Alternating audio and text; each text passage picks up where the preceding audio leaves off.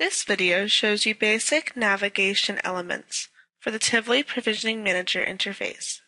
This video contains copyrighted material by IBM Corporation 2010.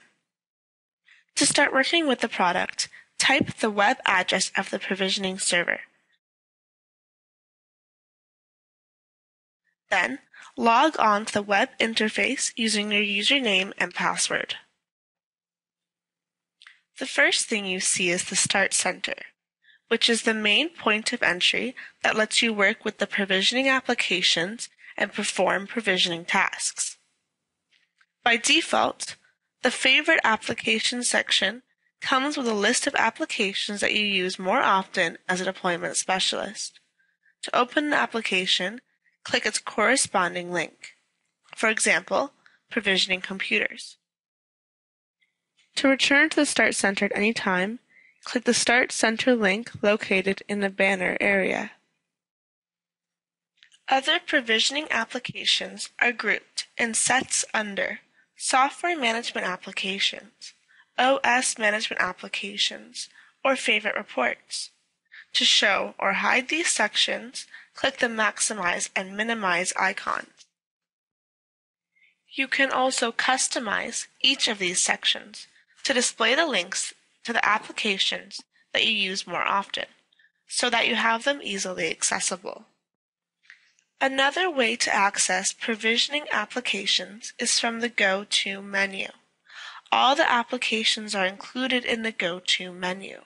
For example, to open the Provisioning Computers application, click Go to Deployment Provisioning Computers. In an application, information is structured in different tabs so that you can work with related items on the same page. The first tab contains a list of the different items of that application. The following tabs contain details of the selected item in the list tab. For example, the Software tab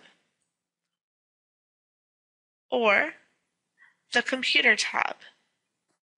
The left and right arrows allow you to browse through the list of items. Related applications are grouped under the same submenu in the Go To menu so that you can find them easily. For example, all software deployment applications are in Go To Deployment Software Management. From here, if you want to install a software product, for example, you click Software Product Installation to start the installation task. To learn more about the applications that are available, review the Go To menu. For example, for patch deployment tasks, click Go to Deployment Patch Management. See all the patch management related applications. For discovery tasks, click Go to Discovery Provisioning Discovery. See all discovery-related applications.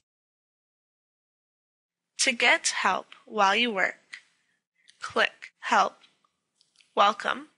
Welcome to provisioning.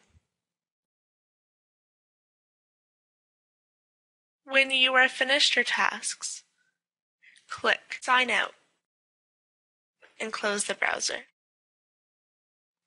This concludes the Exploring the User Interface video.